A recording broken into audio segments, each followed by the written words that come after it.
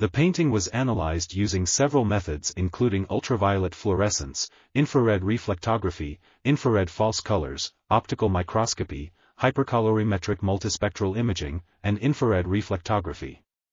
Ultraviolet fluorescence revealed the presence of azurite paintings and white zinc in the retouched areas.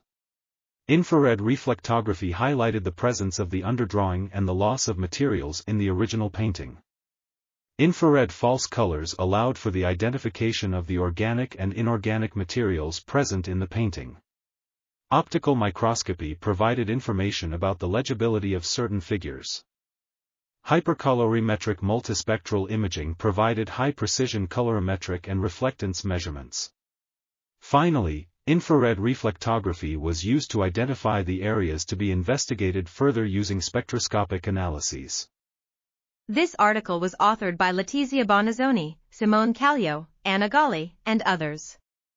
We are RTCL.TV, links in the description below.